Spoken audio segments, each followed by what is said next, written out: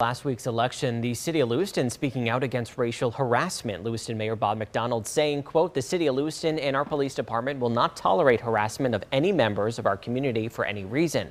Although there have been no reported incidents, a representative for Maine Immigrant and Refugee Services says women have expressed concern over wearing a hijab, a head covering some Muslims wear in public.